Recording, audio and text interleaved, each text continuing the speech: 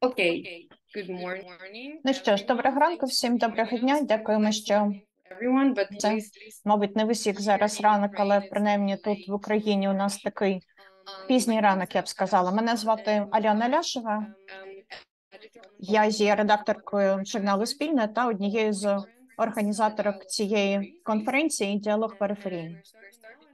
Ми розпочинаємо нашу роботу і перейду зараз на українську, тому що значна частина нашої аудиторії це власне люди, які розмовляють українською мовою, і ми хочемо, аби ця конференція була якомога інклюзивнішою та міжнародною.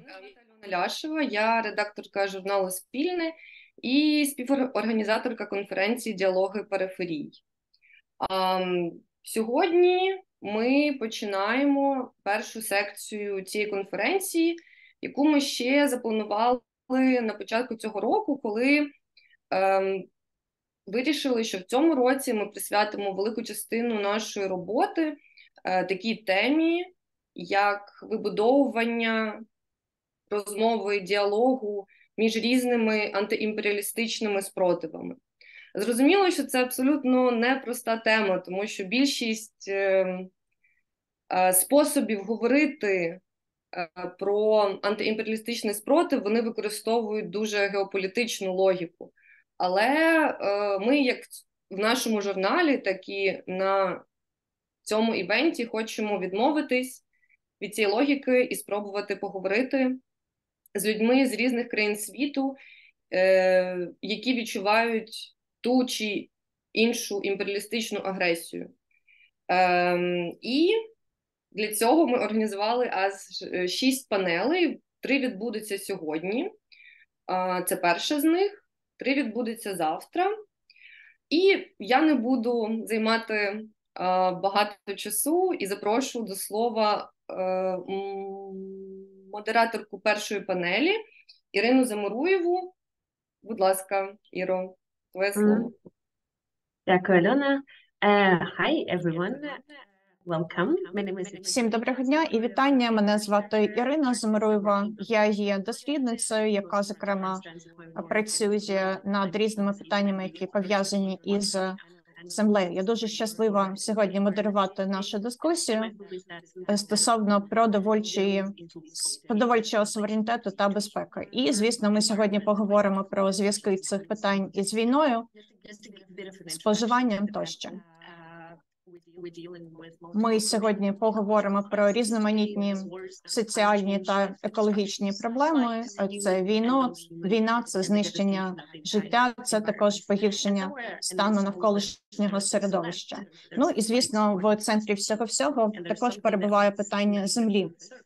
Ми бачимо на поверхні питання продовольства в їжі, але звісно, це не просте запитання. Нічого простого стосовно того, як з'являється їжа, як вона споживається, хто за це платить і якою ціною. Сьогодні ми поговоримо про різні концептуальні підходи, це зокрема справедливості, безпеки в рамках існуючої системи. А також ми подумаємо про те, яким може бути більш деколоніальна система виробництва споживання тощо їжі. І сьогодні у нас є четверо прекрасних мовців, е, спікерів, яких я хотіла би вам представити. По перше, з нами сьогодні Наталія Мамонова, яка є старшою дослідницею Руралісу інституту сільських і регіональних досліджень у Норвегії. Вона зокрема дивиться на питання трансформації та безпеки в тому, що стосується продовольства. Вона е, навчалася у Нідерландах, і з тих ча- часів вона працює дослідницею у різних університетах Хельсінкі, Бухаресті, Оксфорді тощо. А наразі вона у Руралісі власне вивчає наслідки війни в Україні на українську та світову продовольчу систему. По-друге, з нас е, Серж Арфуш, який є е, фермером, активістом, е, співзасновником фермерської школи у Лівані, який вивчав психологію та літературу, а наразі власне займається цією школою Безорона Жозерона. Також з нами сьогодні присутній Ендрю Бенні, дослідник продовольчих систем кліматичної політики в інституті економічної справедливості в Південній Африці. Він також причетний до активістських рухів у цій країні. Власне,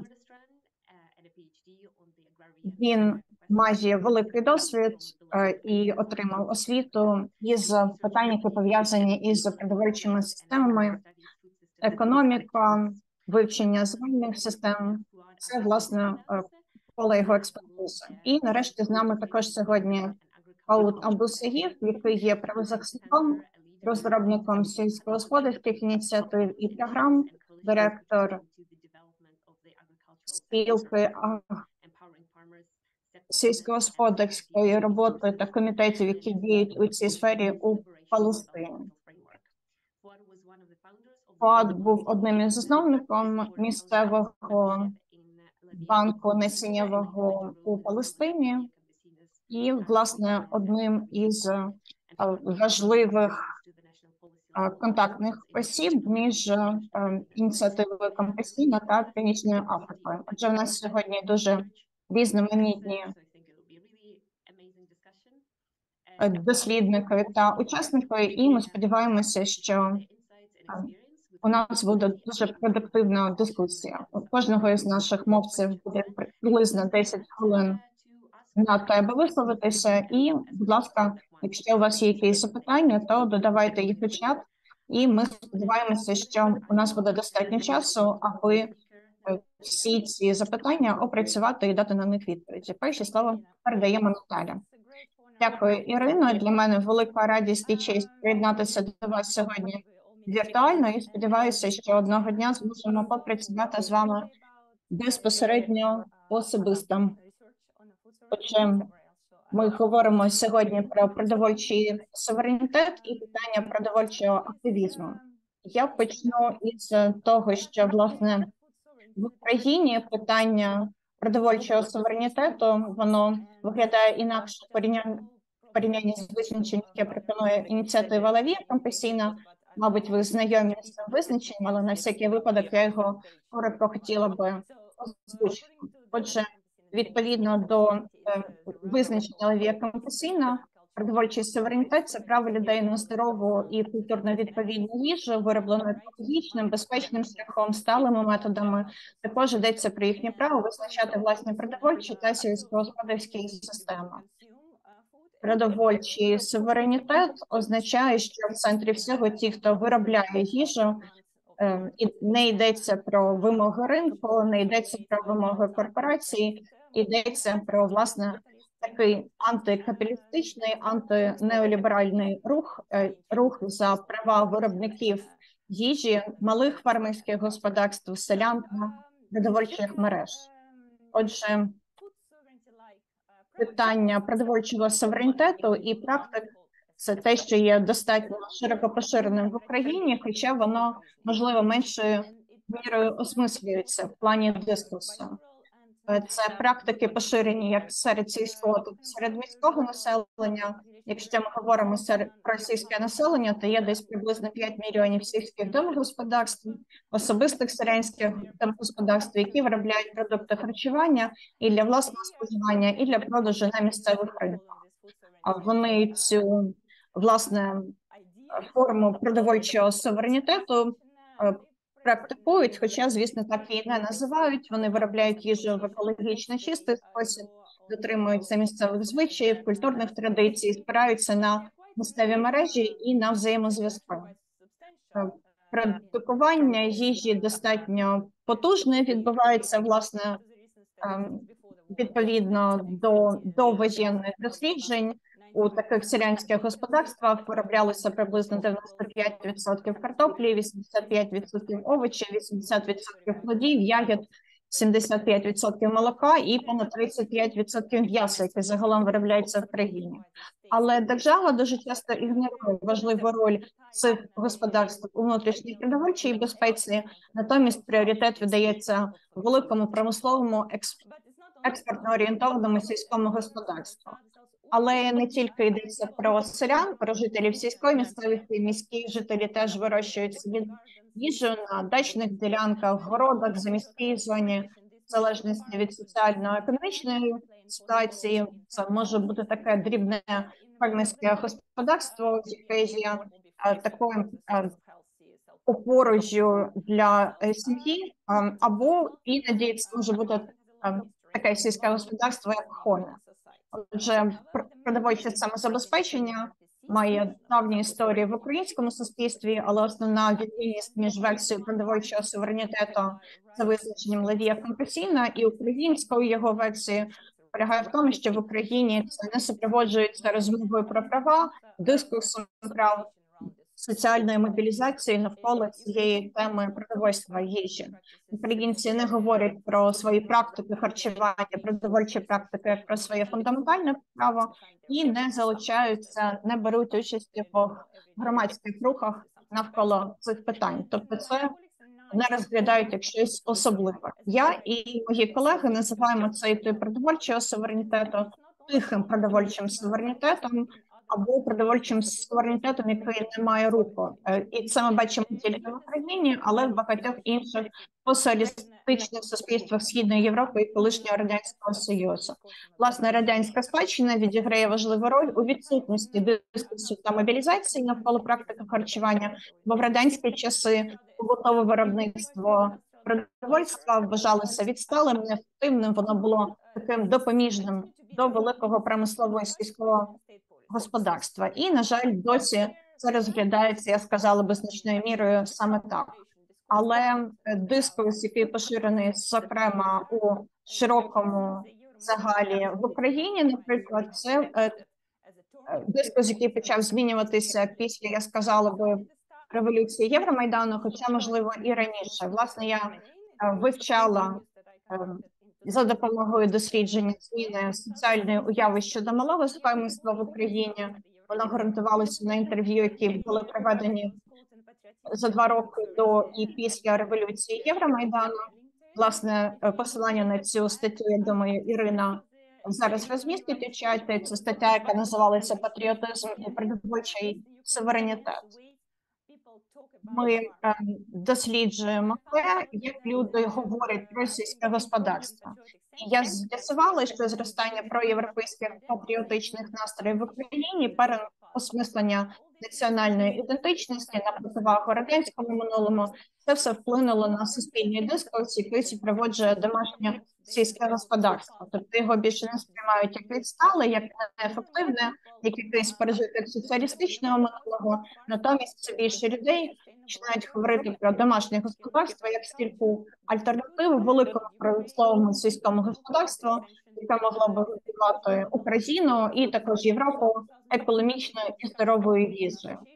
Власне, е, коли йшлося про угоду стосовно асоціації між Україною та Європою, європейське майбутнє України е, в той час було дуже важливою темою. Ну і сьогодні такою темою продовжує бути.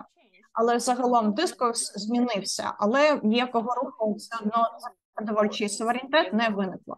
А зараз ми живемо в умовах повномасштабної війни, і це вплинуло на ситуацію. Як Ірина згадувала, я і зараз проводжу дослідження стосовно того, як війна Росії проти України впливає на українське сільське господарство в його великому і малому вимірі. І звісно, вплив війни є катастрофічним, є дуже значним.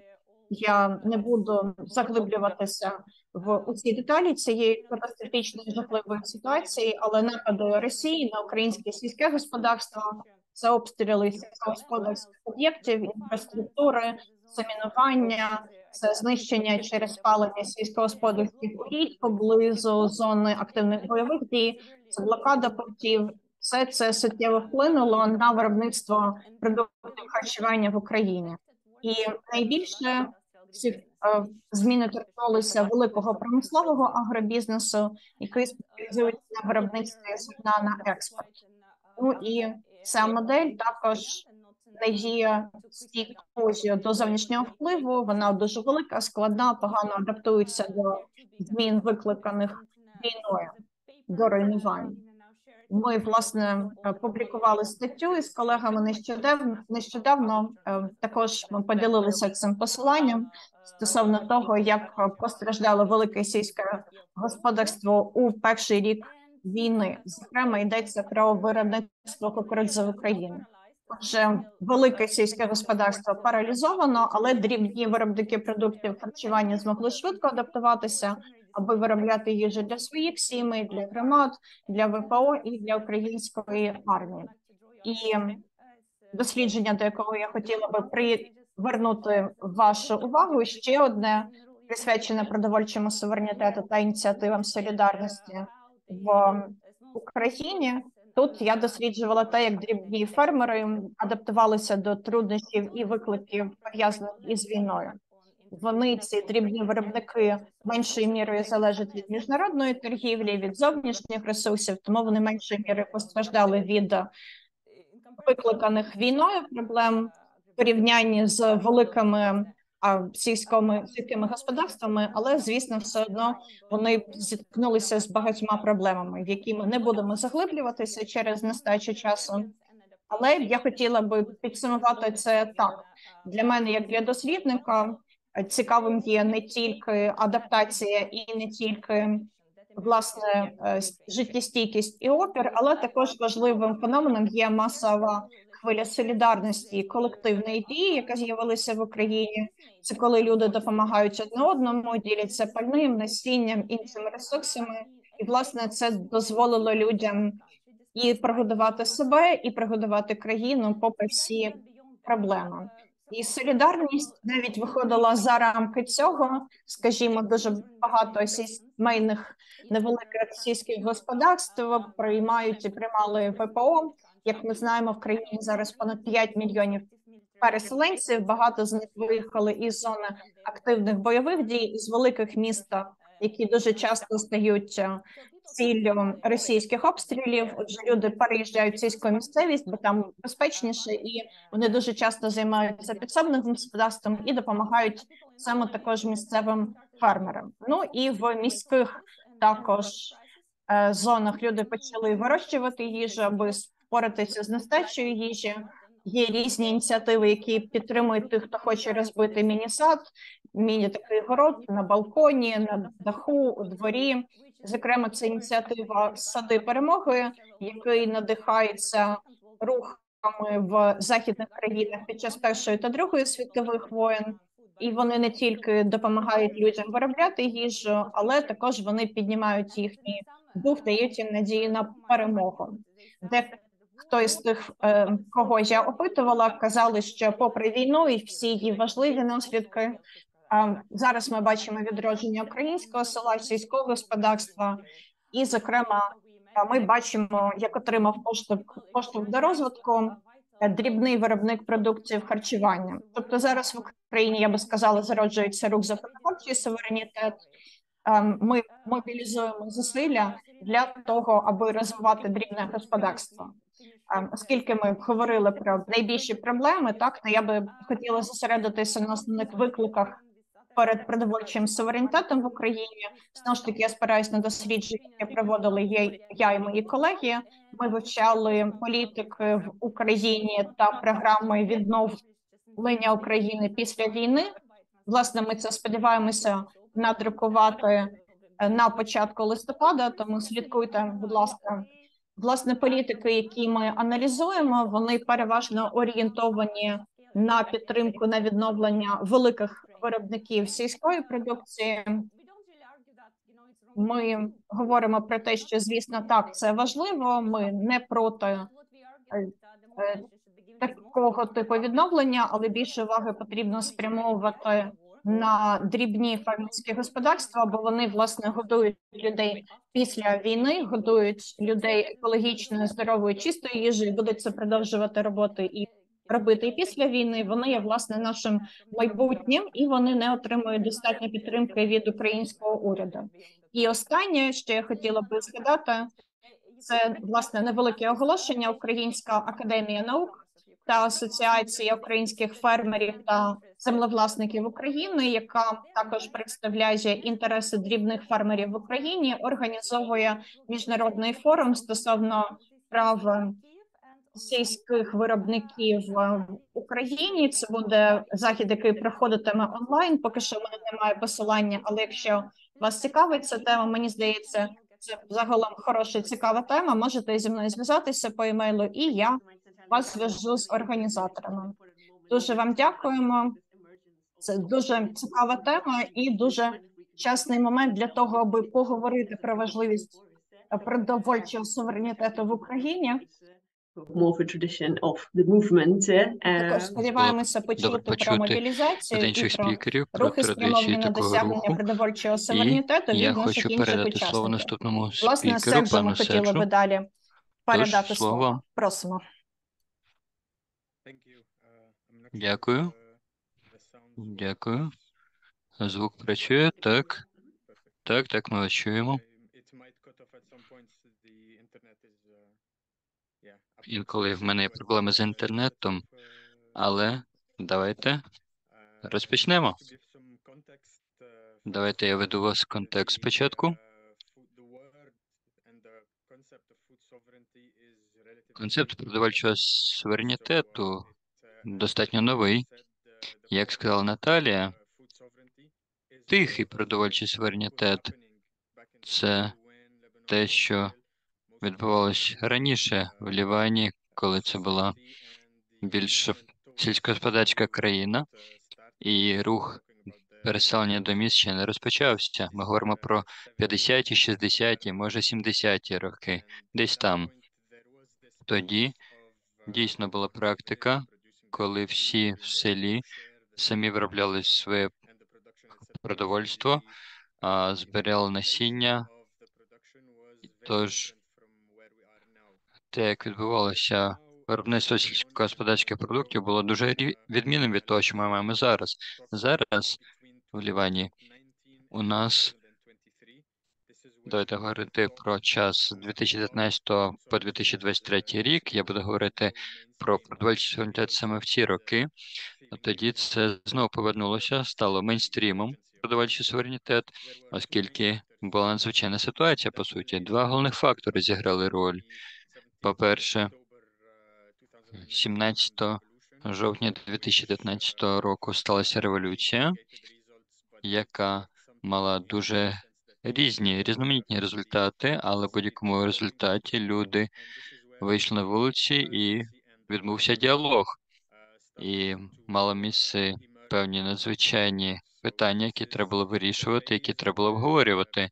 Тож це була фаза, коли люди, прості люди, не лише селяни або окремо люди з міст, але люди з усіх класів. Всі вони почали відчувати хвилювання щодо того, що бракує їжі, і, і з тим, як розгорталася революція, і відбулася контрреволюція, основною проблемою стало брак їжі, брак доступу до їжі. Ми говоримо зараз більше не про суверенітет, а про питання навіть безпеки. Тож тоді тривав також економічний колапс країни. Ліван втратив дуже багато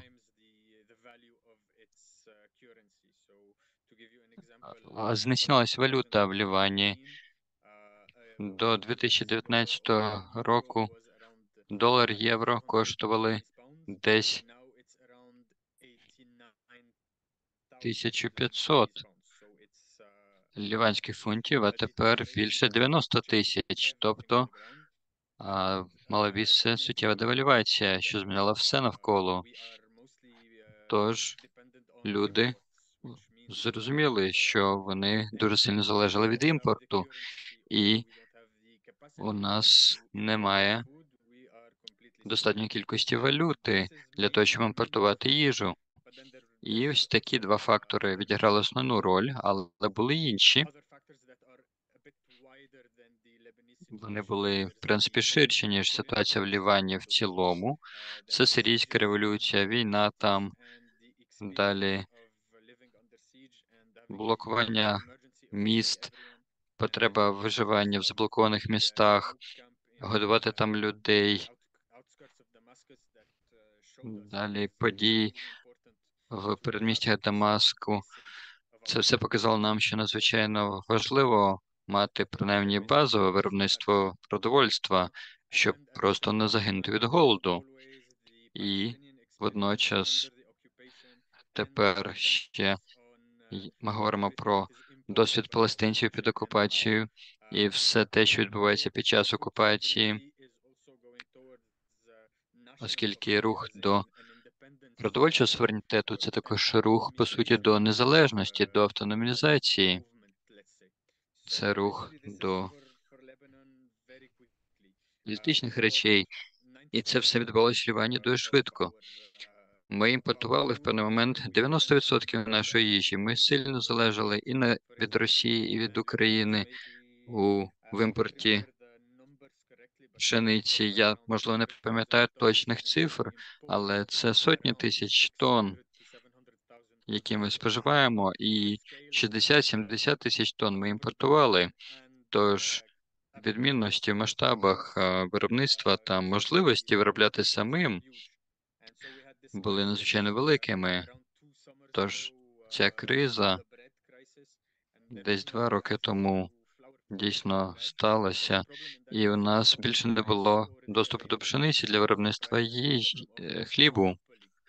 І було ще питання монополій, оскільки в Лівані у нас є ще третій фактор, що полягає в тому, що режим, по суті, є гібридно-олігархічним, де кілька людей контролюють майже всі сектори економіки.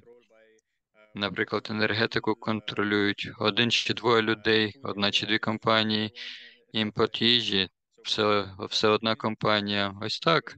Тож, в певний момент виявилося, що кілька людей вирішили заробити більше грошей, використовуючи економічний колапс для того, щоб заробити на субсидіях від держави.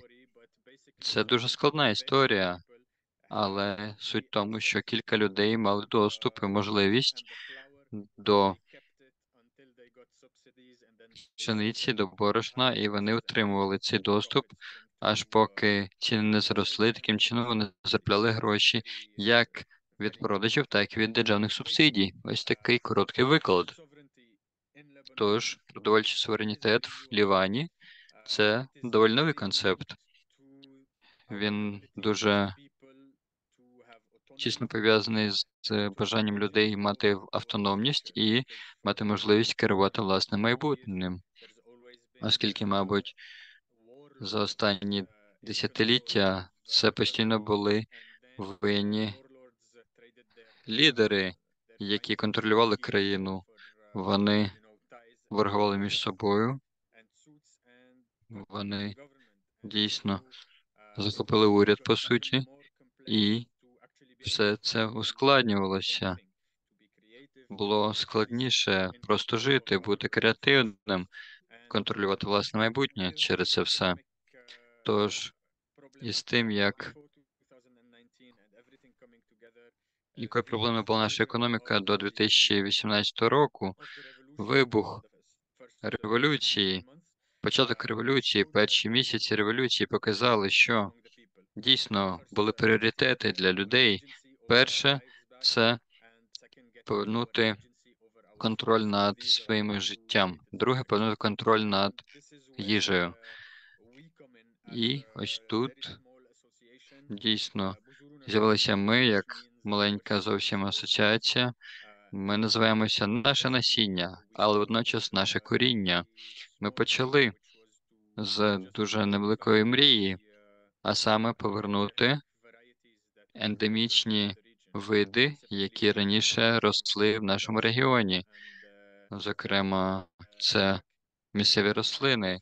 Ми повертали їх з Іраку, і таким чином нас було буквально шестеро, семеро. Ми хотіли просто надати це насіння селянам, щоб це насіння не було під контролем патентів великих компаній, великих корпорацій. Тож, ось такий був маленький початок, і дуже швидко ми розгорнулися. Ми усвідомили, що просто завозити насіння, виробляти його недостатньо, що потрібно передавати практики агроекології і виробництва насіння водночас, що насправді було відповіддю на багато проблемних питань, оскільки відбувалася також деградація ґрунту, забруднення його пестицидами, хімічними речовинами.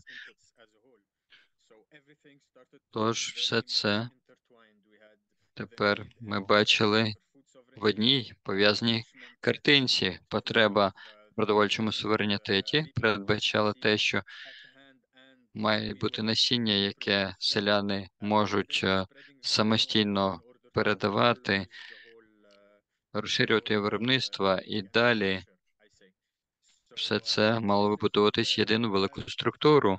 Тож десь в 2016-17 році все це почалось.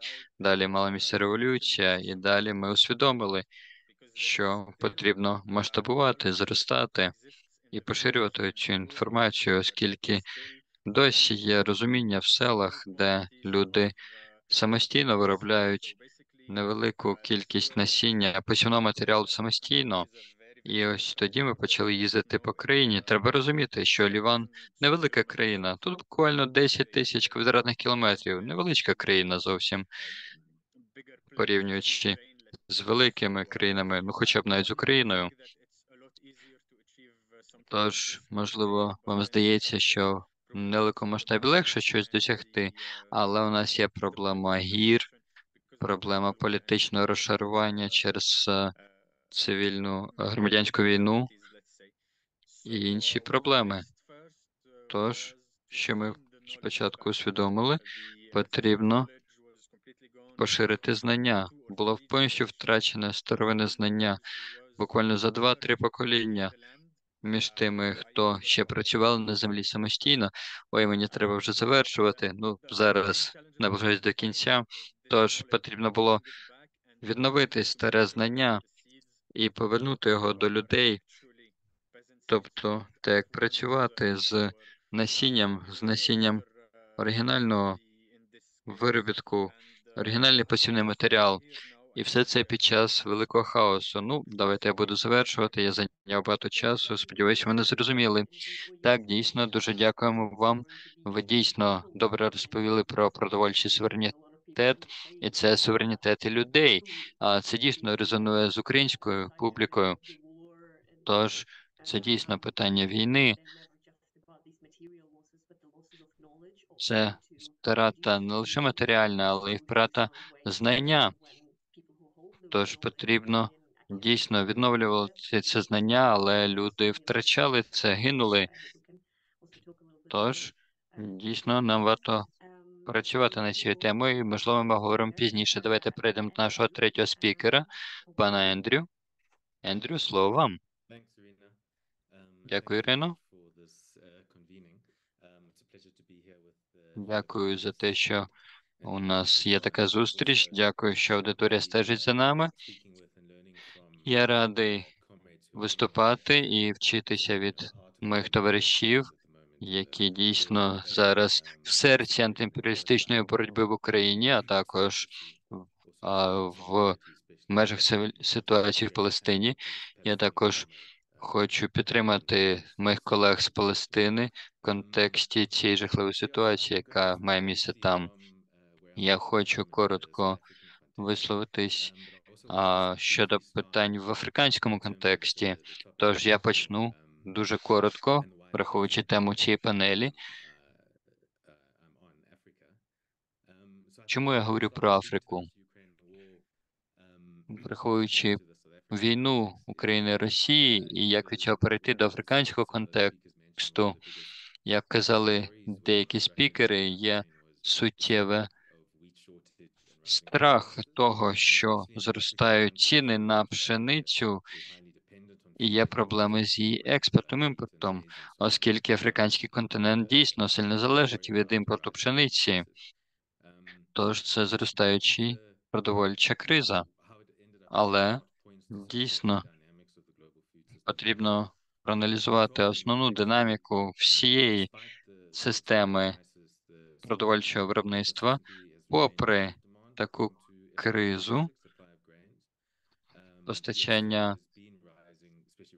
пшениці і дійсно зростання ціни і зростання голоду, особливо в південній Сахарі, південніше Сахари, так, це все залежить як від війни в Україні та Росії, але в першу чергу від всієї структури світової економіки, оскільки африканські країни вони існують в межах цієї структури, яка є агресивною до них, і була такою навіть до початку війни України і Росії.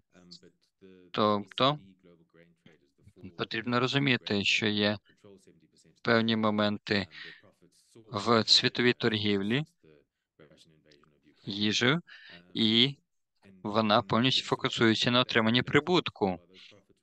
Що це означає? Що якщо є проблеми з імпортом, то зростає голод в Африці. Треба розуміти, що Африка дуже сильно залежить від імпорту. Майже вся Африка. І є відповідно проблеми. Зараз і це спричиняє до того, що зростає голод в Африці. Їм потрібно більше платити за їжу, і водночас такі країни, як США, вони можуть отримати додатковий прибуток. І е, в умовах, коли зростають відсоткові ставки на кредити, це спричиняє додаткові проблеми.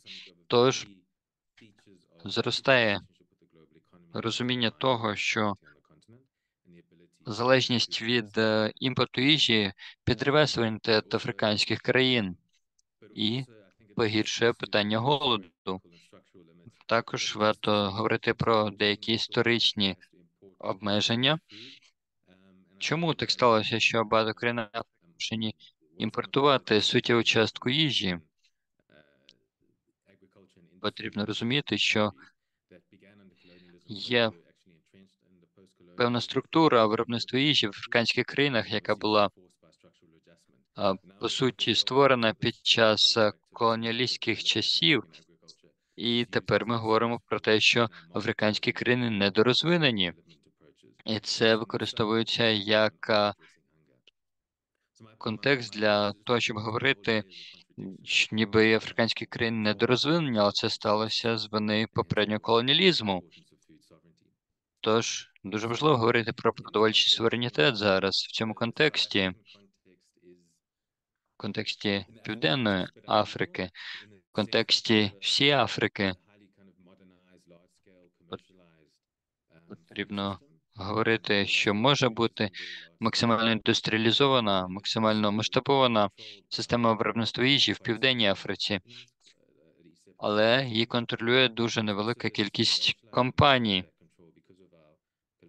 Але є дійсно історія апартеїду, колоніалізму в цій країні, і тоді потрібно говорити, що попри це є суттєві проблеми з браком харчування, з поганим харчуванням людей. Тож Південна Африка може виробляти їжі набагато більше, багато експортує, але також е, треба розуміти, що Південна Африка виробляє максимально широкий спектр їжі, а це і зернові, і фрукти, і овочі.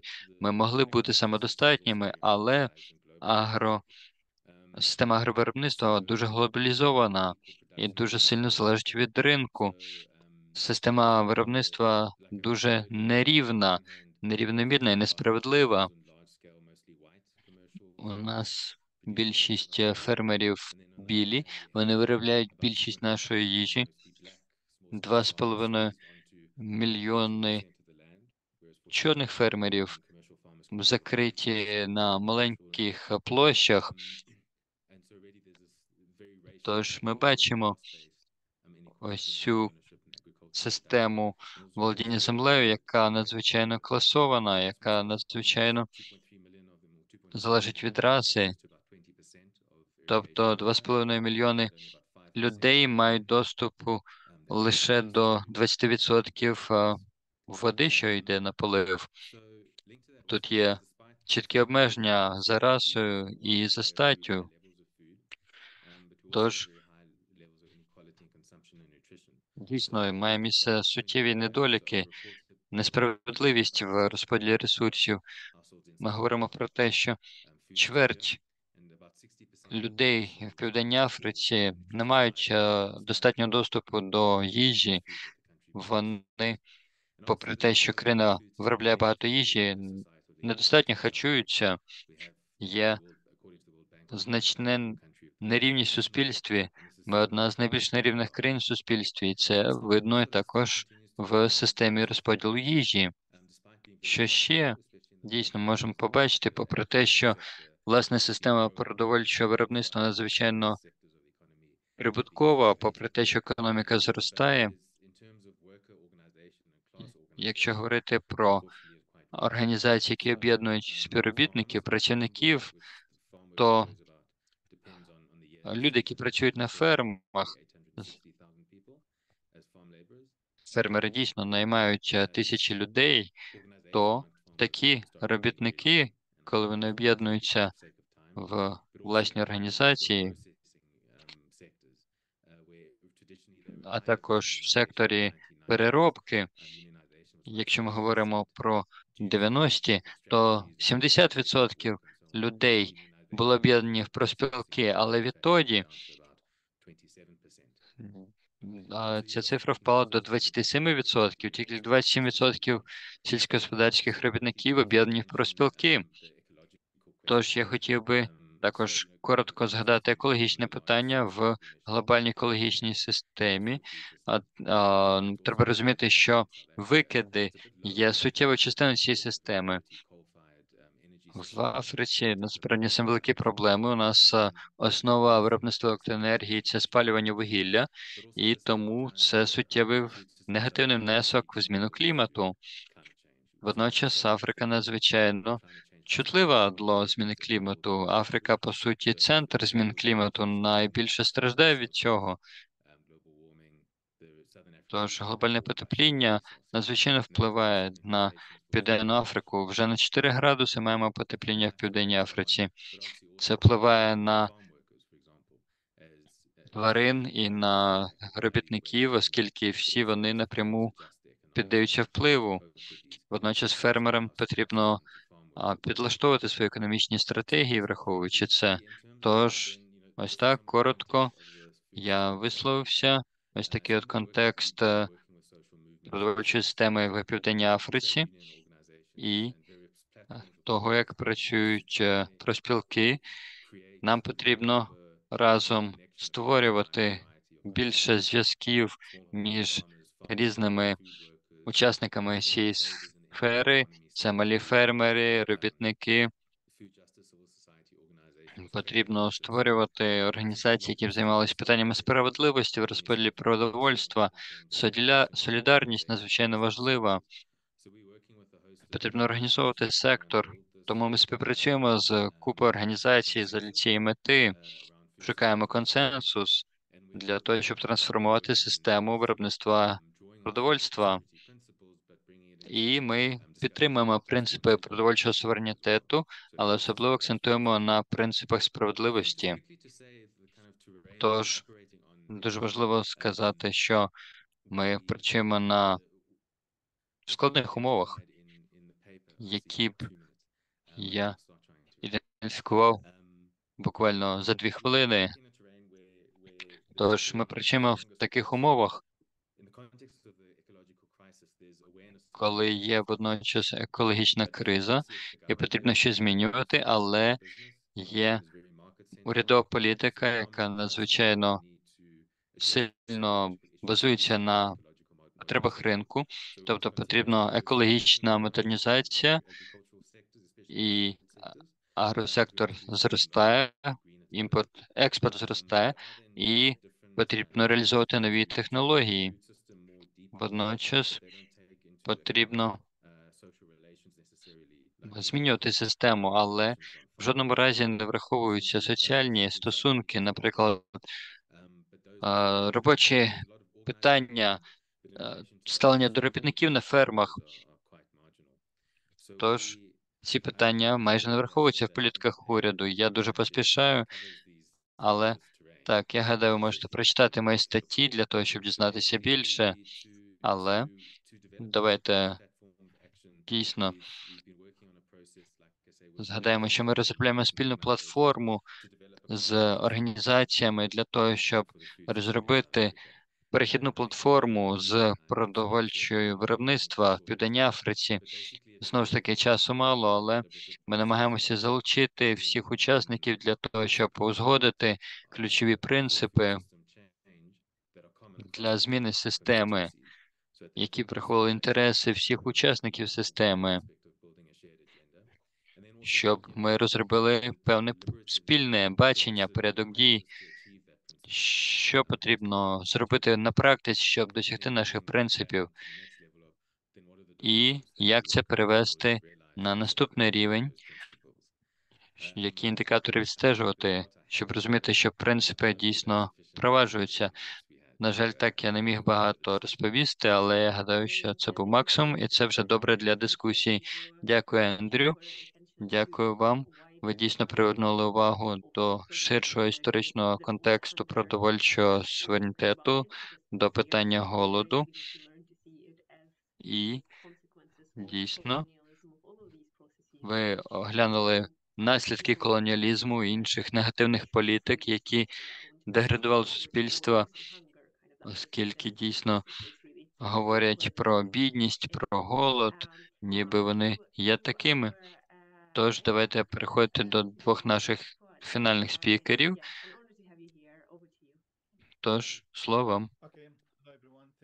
Ну що ж, усім доброго дня і дуже дякую, що дали можливість нам сьогодні зібратися і мене долучити і мені долучитися до вас у цей критичний момент для Палестини. Думаю, ви знаєте, що там відбувається. На 100%, звісно, я згоден, що ця ситуація пов'язана з темою, яку ми сьогодні тут розглядаємо. І я сподіваюся розповісти вам про те, що ми маємо на увазі під продовольчою продовольчим суверенітетом в Палестині, і що ми робимо, аби дати відповідь тій ситуації, якій ми опинилися в умовах окупації. Питання продовольчого суверенітету виглядає і доступу до ресурсів значно інакше ніж в будь-якому іншому контексті. Я знаю, я думаю, що всі ви знаєте, що Ізраїль проводить геноцидну політику та війну проти Палестини і сектору Газа. І до цього ранку, власне, убито більш ніж 9 тисяч палестинців. Багато людей також поранено. І, власне, 69 із відсотків із убитих це жінки, це діти. І, власне, з моменту початку цієї конференції і до цього моменту, тобто це година всього, так вже загинуло 60 палестинців, яких було убито. Убито також у лікарні, тому що здійснюються напади на лікарню у Газі. Тобто ми перебуваємо в момент абсолютно божевільного конфлікту у Газі, коли величезна кількість людей, мільйони людей застрягли у Газі, е, яка фактично перебуває в умовах облоги вже багато років. Тобто ми бачимо жахливі абсолютно сцени із сектору Газа. Ми буквально не можемо це описати іншим людям. Під бомбардуваннями опинилися жінки і діти. і Здесь знищується все. Здійснюються напади на лікарні, на житлові будинки. При цьому Ізраїль каже, що за 24 години за кожну ніч вони влучають в 400 ем, об'єктів, але переважно йдеться про цивільну інфраструктуру, цивільні об'єкти.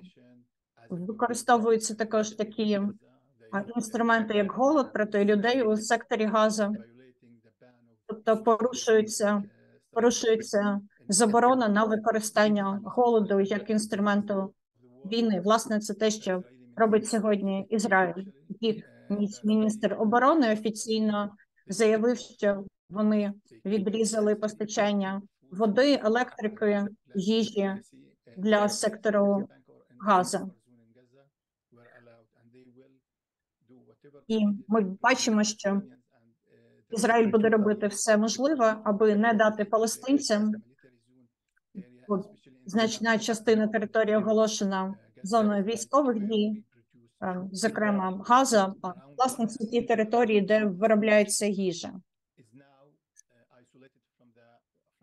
Ми говоримо також про ситуацію, коли люди у Газі не мають доступу до їжі, вони перебувають в цих умовах продовольчої незабезпеченості, зокрема, якщо ми говоримо про найважливіші елементи харчування і про доступ до води, власне. Тобто є їжа у Газі, але немає доступу до тієї зони. Е, Ніхто не має доступу до своїх сільських господарств, заборонено їх обробляти. І, власне, навіть отримувати доступ до них, до цих ділянок. Значна частина сектору газу безпосередньо знищена, якщо ми говоримо про якісь допоміжні сектори, які могли би допомогти з цією ситуацією, зокрема про риболовний сектор. І загалом ми говоримо про те, що здійснюється напад, наступ на всі ці території, які можуть використовуватися в сільському господарстві. Для нас визначення суверенності і продовольчої як для власне для палестинців. Бачимо, звісно, зв'язок між питанням продовольчої безпеки та суверенітету, але ми бачимо визначення продовольчого суверенітету абсолютно іншим, тому що продовольчий суверенітет це про гідне життя і опір окупації. Натомість продовольча безпека це те, що для нас переважно пов'язане із гуманітарною допомогою, яка надходить ззовні. Тобто продовольчий суверенітет, досягнення його пов'язаний із опором окупації, тому що ситуація, в якій ми опинилися, є значно відмінна від того, що історично ми переживали раніше. Як організація, як мережа активістів, як палестинці, що ми намагаємося зробити, то це окреслити нашу власну продовольчу систему. Наприклад, на західному березі, де ситуація трохи інакша ніж у секторі Газі. Ем, Ми намагаємося продукувати, вирощувати власну їжу. Також, звісно, ми говоримо про ситуацію, коли Ізраїль обмежує наш доступ до ресурсів. Території, де Ізраїль облаштовує свої поселення, е, облаштовує контрольно-пропускні пункти з метою унеможливити е, доступ людей до цих територій, до територій, де може вирощуватися їжа, аби забезпечити продовольчу безпеку. Тобто, ми говоримо про надзвичайно складну ситуацію. Наприклад, аби дати вам практичний приклад того, що нам вдалося зробити як організації, то це організувати насіннєвий банк, наш власний. Ми почали над цим працювати в 2010 році, і нам вдалося зібрати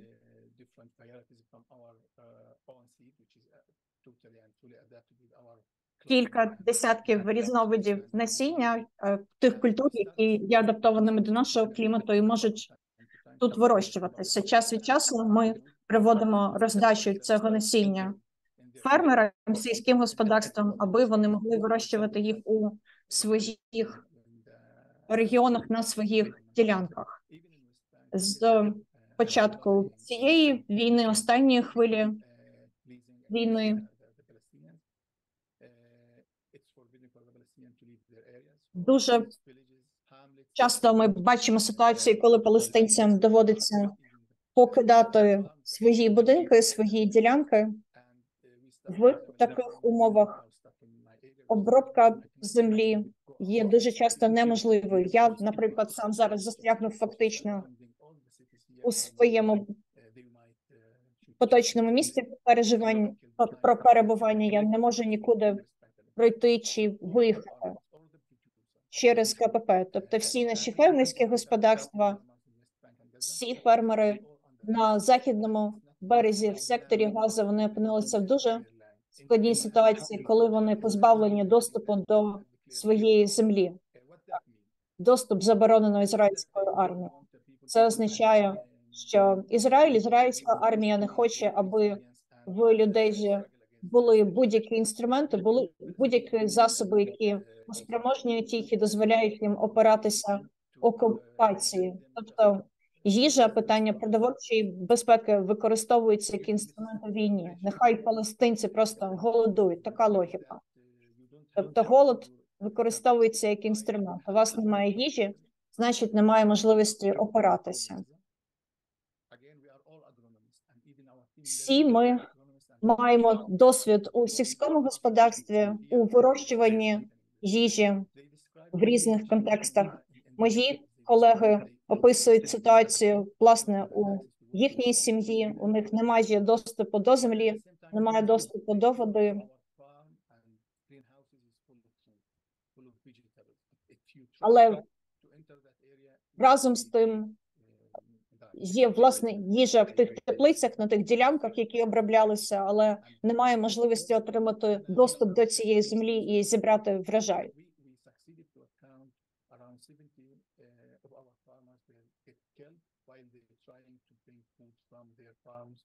Власне, було затримано певну кількість виробників їжі, фермерів, які намагалися отримати доступ до своєї землі, доступитися до цих ділянок. Ще один приклад того, як ми намагаємося адаптувати нашу харчову систему, продовольчу систему у зв'язку із проблемами та виклик- викликами, які постали. Як ви знаєте, Газа зараз живе в умовах облоги, фактично, коли закрито перехід на кордоні з Єгиптом, і коли через ем, цей кордон, через цей коридор можуть потрапити до сектору Гази тільки ем, деякі вантажівки з допомогою. Власне, палестинці в таких умовах дуже часто покладаються на городи, на їж, їжу, яку вони вирощують безпосередньо поряд із своїм будинком. І це, звісно, не закриває всі потреби, але принаймні є прикладом того, що ми намагаємося зробити. Ми розуміємо, що в умовах окупації розуміли це раніше. Ми маємо вибудувати власну продовольчу систему, використовуючи ті засоби, які у нас є, і адаптуючи е, наші знання і наші вміння до цієї ситуації. Нам слід гарантувати, що ми виробляємо власну їжу, використовуючи власні засоби, використовуючи всі ті обмежені сантиметри, клаптики землі, до яких ми маємо доступ.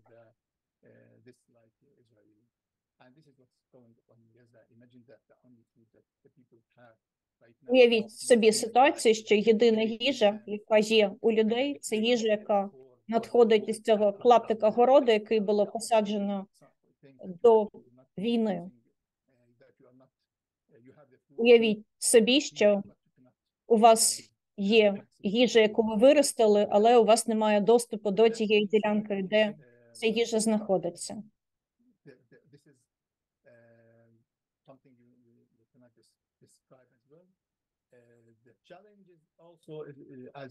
Крім того, якщо ми говоримо про проблеми, про виклики, е, то також ми говоримо про конфіскацію землі, що в великому масштабі відбувається в Палестині, відбувається в усіх частинах, і також доступ до води, який є обмежений через дії Ізраїлю, що звісно впливає на сільське господарство. Тобто, це ще одна проблема, ще один виклик, перед яким ми постали.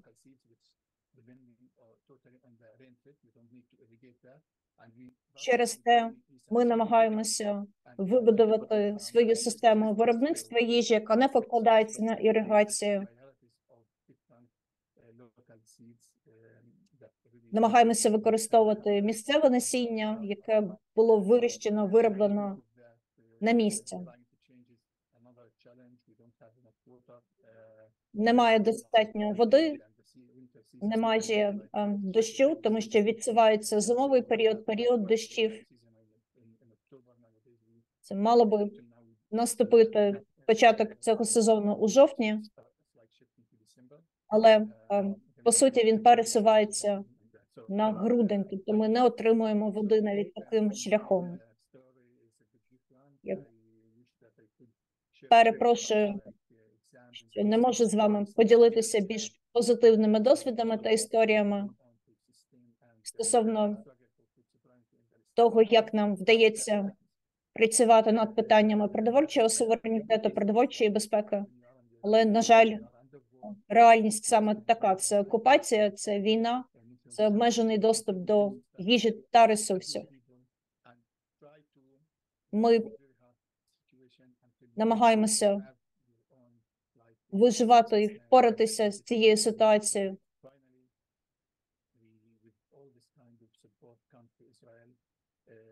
Але ми бачимо величезну підтримку, яка надається Ізраїлю, і по суті спрямована проти Палестини і палестинців. Тобто, по суті, ми ні на що не можемо спертися, ні на яку підтримку.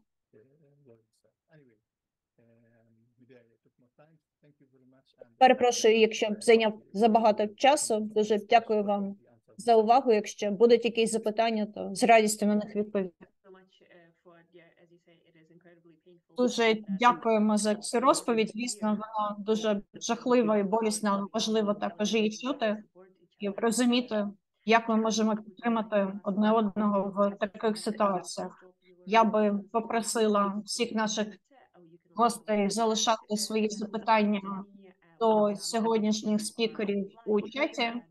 Дехто у нас присутній безпосередньо тут у цій зустрічі. Будь ласка, залишайте свої питання тут у зумі. Тоді у нас залишилося приблизно 20 хвилин на запитання відповіді, і я хотіла би скористатися своєю привілегією модераторки, поки ми збираємо запитання від наших відвідувачів. Перше запитання від мене воно буде поставлено всім нашим мовцям, всім нашим сьогоднішнім спікерам, які представляють величезне різноманіття різних досвідів, різних контекстів. Але, попри ці різні контексти, ми бачимо паралелі в ситуації, яка стосується опору імперіальним силам, ситуації з дрібним фермерством з одного боку і великим сільськогосподарським комплексом промислового типу з іншого боку. Тому, власне, я би хотіла запитати всіх наших спікерів про ці стратегії опору, які є найбільш ефективними з вашого досвіду, якщо ми говоримо про опір глобальному промисловому сільському виробництву. Так, Наталі, можливо, ви почнете. Так, дякую. Якщо говорити про мене, то я сьогодні слухала колег і власне бачила, що спільною для всіх темою є тема насінневого суверенітету як одного із засадничих принципів продовольчого суверенітету, продовольчої безпеки, що дозволяє забезпечувати основні потреби людей. Я думала про український контекст тут також і про те, що окремо зараз під час війни. На самому початку, наприклад, війни ми бачили, що досвід маленьких сільськогосподарських виробників полягає в відсутності, наприклад, насіння та інших вторинних продуктів, тобто це насіння, яке використовують переважно виробників, це запатентоване насіння, його не можна відтворювати, репродукувати його не можна розмножувати, потрібно заново і заново купувати. Ще бачили власне мої колеги, і я в Україні. Ми бачимо, що насіння надходить надходить від великих виробників, як, наприклад, Monsanto. І власне завод з виробництва цього насіння один з великих великих розташований у Житомирі, моєму власне рідному місті. Монсанто зараз роздає насіння сільськогосподарським виробникам безкоштовно. Це така благодійна кампанія, але загалом з на репутацію цієї компанії, мені здається, що вони таким чином намагаються швидше поширити свій вплив за межі тих регіонів, е, які тепер на них покладаються. Вони хочуть більше більше сільських господарств підсадити на своєї продукції. Та коли ми кажемо про опір, так бачимо інший бік цього великого неоліберального бізнесу, коли вони використовують поточний момент, поточну ситуацію для того, аби поширювати свій вплив, свою владу. І говорячи також про ситуацію з насінням в Україні, ініціатива Левія Компесійна є дуже потужним і важливим партнером України в цьому плані, так само як Румунія Екораліс. Ми говоримо про активістів, які займаються цим питанням насіннєвої свободи суверенітету, про те, що активісти надсилають велику кількість насіння місцевим сільськогосподарським виробникам, аби вони могли це насіння використовувати у своїх господарствах і не покладатися на великих виробників типу Монсанто. Тобто ми говоримо про захист людей на їжі, яка є відповідною до їхньої культури, і власне це частина сталого процесу. Дякую. Так, і можливо, у нас є якісь запитання в чаті, або можливо хтось хотів би прокоментувати те саме питання із наших промовців. Так, я хотів би підкреслити, що власне надзвичайно важливим є використання насіння, яке можна розмножувати самостійно. Власне, ще з 50-х це запитання піднімалося після Другої світової.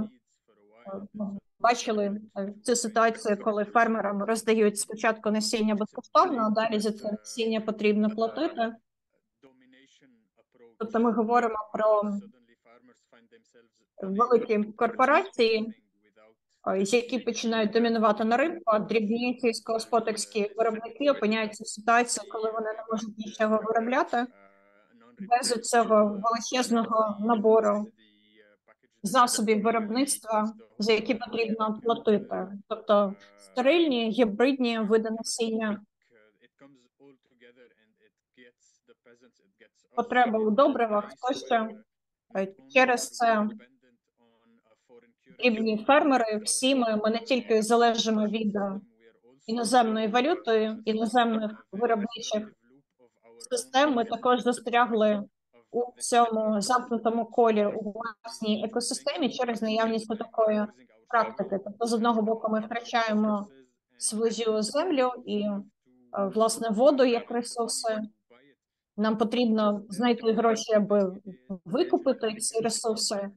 Е, Ну і власне захоплення землі це, мабуть, найжахливіший приклад е, такої втрати ресурсів. У Палестині ми бачимо величезний масштаб е, такого феномену. Тобто відбувається продукування на певній частині території, але немає доступу до цієї території. Виробляється їжа, але немає доступу до неї. Власне, ми боїмося, що ми опиняємося все більшою мірою в ситуації, коли від голодування, від ситуації голодування людей відділяє тільки невеликий вазончик чи невеликий шматочок землі під домом чи вазончик на балконі, на якому вони вирощують їжу. Тому це питання фонду насіння. Ми не називаємо це банком, бо ми банки в Лівані дуже не любимо. Але словом, місце сховище насіння це, мабуть, перший крок власне до цього. Як я раніше говорив, доступ до знання і поширення знання це також термінове питання. Ну і крім того, звісно, є питання доступу до землі і доступу до води.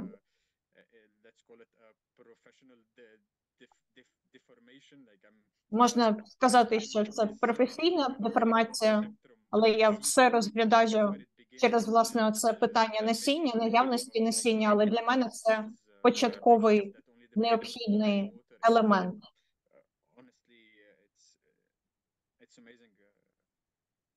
Але Те, що було сказано колегою про те, що в ситуації, коли не можна покладатися на іригацію, покладаються тільки на дощову воду, це абсолютно неймовірна ситуація. Стосовно нашого регіонального контексту, то відновлення цього доступу до насіння і суверенітету для нас дуже важливо. Ендрю, і можливо, ви скажете нам кілька слів зв'язку із, зокрема, е, кліматичною кризою і тим, як це впливає не тільки на дрібне фермерське господарство, але загалом на всю ситуацію, в якій перебуває людство. Так, звісно, я би хотів відштовхнутися від того, що говорив Серж. Мені здається, що повернення собі ресурсів це важливий крок на шляху до боротьби проти зміни клімату. І теж зі мною мені дуже зрезонувало те, що говорила Наталя про цей тихий рух у південній Африці. Ми бачили цю приватизацію ресурсів і те, як у місцевого населення забирають доступ до ресурсів. Сьогодні в цій продовольчій системі домінують великі бізнеси, які власне мають ем, солідну репутацію з точки зору їхнього соціального капіталу. Їх бачать як лідерів, як ем, тих, кому по праву належиться влада.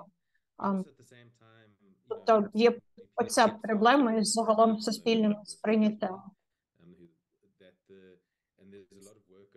І також сьогодні ми бачимо а, дуже багато низової роботи з повернення собі права на ресурси, права на насіння.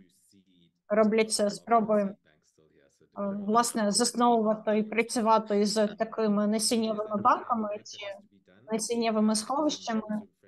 Бачимо великий масштаб роботи попереду, а, зокрема, якщо йдеться про деколонізацію.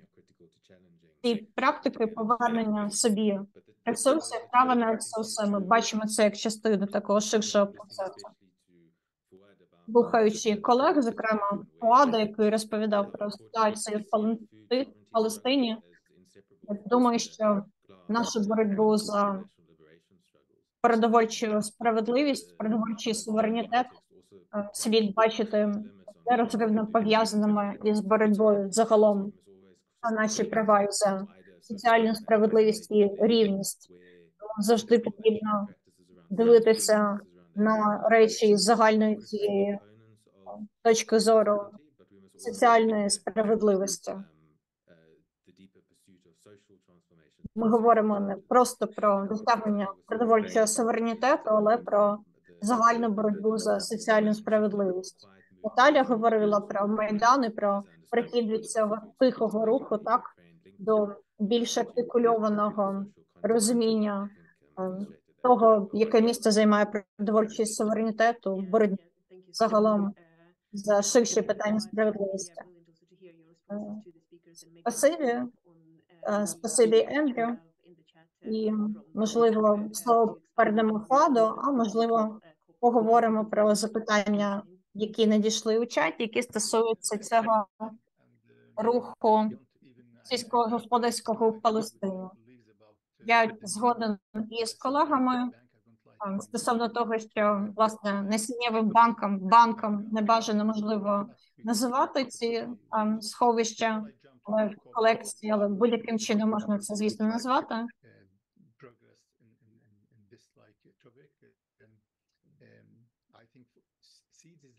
Мені здається, що насіння це основа продовольчого суверенітету.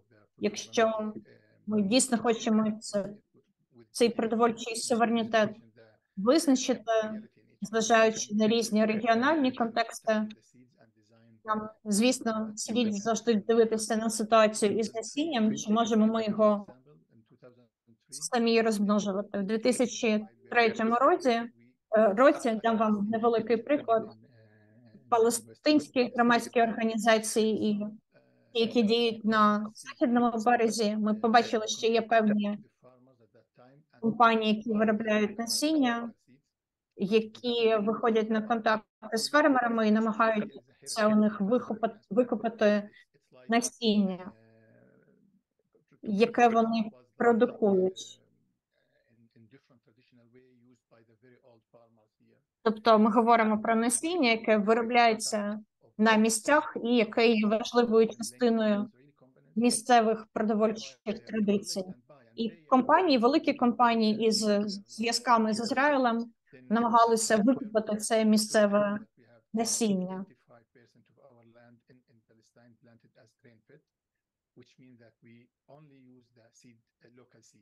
Ми використовуємо місцеве насіння у Палестині, виключно місцеве насіння, яке можна посадити, яке буде гарно давати урожай у нашому регіональному контексті. Тобто для нас це питання про можливість зберегти за собою землю, тому що якщо земля не засівається, якщо ми з нею не працюємо 2-3 роки, то ми розуміємо, що Ізраїль цю землю захопить і оголосить сважіжа. Стосовно загалом руху у Палестині кооперативного, то ми бачимо дійсно кооперативу як важливий елемент нашої боротьби. А Після окупації ми застосовували цей кооперативний підхід, і після також ми закликаємо палестинців ем, організовуватися в кооперативи. У нас є сотні таких кооперативів. Жінки є е, найбільш активними учасницями таких організацій. Ем, Це кооперативи, які власне є виробниками, зокрема сільськогосподарської продукції, але загалом працюють поширені у різних секторах. Вони діють у певному конкретному регіональному контексті. Деякі зосереджуються, спеціалізуються на конкретних напрямках виробництва. Наприклад, це тваринна продукція або рослини, сільське господарство. Тобто, використовуючи ті обмежені ресурси, до яких ми маємо доступ в умовах окупації, ми намагаємося власне застосовувати цей кооперативний підхід. Бо йдеться тут про підтримку, про мережу підтримки, коли ми співпрацюємо із іншими людьми. Якщо подивитися на питання захоплення землі, на те, що земля відрізається, бачимо, що в багатьох місцях власне існування кооперативів дозволяє організувати сільськогосподарське виробництво. У нас десь 5 хвилин всього залишилося. Я хотіла би Сержа і Наталію також запросити дати відповідь на питання Патріка, яке стосується про кооперативний рух у Лівані. Можливо, Наталі, ви би хотіли теж прокоментувати це. Так, дякую. Вже по суті, три-чотири різних типи кооперативів зараз у Лівані діють.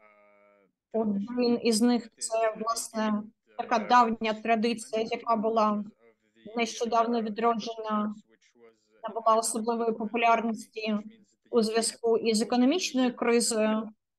Це така мережа спосіб взаємодії, е, неформальний спосіб, який власне спирається на мережі у різних селах. Е, Люди об'єднуються, аби допомогти одне одному із виробництвом продукції, збором урожаю тощо.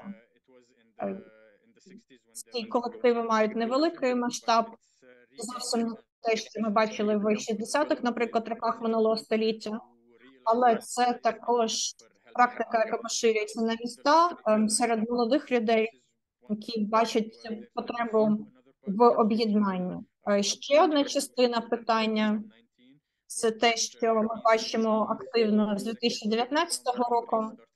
після революції, коли маленькі колективи в країні об'єднуються, встановлюють зв'язки і намагаються заснувати таку трохи більше за масштабом макроекономічну систему, яка спирається на наступну систему. Люди об'єднуються, аби знайти можливість купити екологічно вирощену сталу продукцію, тобто це відповідальне споживацтво. Люди звертаються до е, виробників, виробники отримують можливість продавати свою продукцію. І ще власне діяльність громадських організацій, які намагаються заснувати теж такі невеликі е- екосистеми та економічні системи. Я не сказав, що це дуже зараз є ефективним, тому що не вдається заснувати ширшу і сталішу інфраструктуру. Ну і те, чим займаємося ми на місці, як низові активісти. Це така е, сільськогосподарська екологічна ініціатива, яка спирається на питання насіннєвого суверенітету. Ну і різні також ініціативи, які підходять від держави. Тобто профспілки, по суті, є різні профспілки, які ще у 80-х роках по суті перейшли під контроль держави, які сьогодні намагаються відродити свою автономність та суверенітет. Тобто є профспілки, які цілком контрольовані державою, і профспілки, які починають діяти автономно, захищаючи права працівників робітників. Тобто різні відбуваються процеси. Переважно проблема була в тому, аби встановити зв'язки, контакти, і ми бачимо активізацію цих процесів тільки в останні три роки. Тобто, це недовго поки що не, не тривалий процес, але він відбувається. Тобто, це повернення собі права в рамках таких неформальних систем і намагання зрозуміти, як можемо взаємодіяти разом. Якщо коротко, то власне така ситуація зараз у Лівані. Так, дуже дякую. І Наталя. Так, небагато часу, я розумію. Я також бачила, що є інші питання до мене. Я б хотіла би просто подякувати за всі ці запитання, і ми можемо, я сподіваюся, продовжувати цю розмову за допомогою переписка про кооперативи. Питання е, так в Україні Е, в Україні кооперативи це не дуже успішна історія. Є різні причини, різні пояснення, чому мені здається, частково це через історію колгоспів, колективного господарства. Люди не хочуть е, залучатися до того, що вони асоціюють із колгоспами, але є дуже багато прикладів взаємодії та співпраці через неформальні мережі між виробниками їжі в Україні. Неформальна економіка є дуже потужною частиною економіки. Ці неформальні мережі це власне те, що дозволяє дрібним виробникам функціонувати. І державний закон про кооперативи слід згадати, який нещодавно було прийнято Верховною Радою. Дуже непопулярний. Різні соціальні рухи та дослідники його критикують, кажуть, що він працює на користь великих сільських господарств. Побачимо, як буде розвиватися ситуація далі. Чи буде цей закон можливо доповнено або відмінено стосовно відсутності продовольчої безпеки. Я хотіла би прокоментувати теж коротко. Відповідно до нещодавніх досліджень, один із трьох одне із трьох домогосподарств в Україні е, не має продовольчої безпеки. Якщо ми говоримо про світ, то цифри навіть гірші. Е, Необхідність продовольчої допомоги в цьому контексті слід підкреслити, а також самостійне виробництво їжі наступного року Я власне буду дивитися на ці питання, досліджувати питання продовольчої допомоги з одного боку і самостійного забезпечення себе їжею. Будемо дивитися власне на те, який із цих методів забезпечення продовольчої безпеки є більш придатним. Дякую. Велике спасибі. Я хотіла би подякувати всім нашим прекрасним сьогоднішнім спікерам за те, що вони звернули увагу на те, що говорячи про війну, про навколишнє середовище, ми маємо розуміти ці питання як взаємопов'язані. Що питання продовольчого суверенітету це також питання боротьби проти імперіалістичних стратегій. Питання доступу до землі, можливості працювати на землі це також питання опору неоліберальним політикам. Це також питання рівності, питання боротьби за кліматичні права. Дякую всім нашим промовцям. Дуже дякую всім нашим також гостям і перекладачам. І хотіла би нарешті привернути увагу усіх до українського листа солідарності з палестинським народом, який же багато хто із присутніх тут колег написали або підписали. Серед тих, хто його підписали, є дослідники, активісти. Я поділилася посиланнями в чаті. Я просила би вас поширити інформацію про цей лист у ваших мережах. Дуже важливо власне долучитися до цього прояву солідарності. Ми будемо продовжувати роботу в рамках наступної нашої панелі о третій роботі і поговоримо про солідарність в нашому фрагментованому світі. Зареєструйтесь, якщо досі не зареєструвалися. І я думаю, наразі це все. Ще раз дякуємо всім учасникам нашої дискусії. На жаль, ми не маємо часу на розгляд цих запитань, але дякуємо.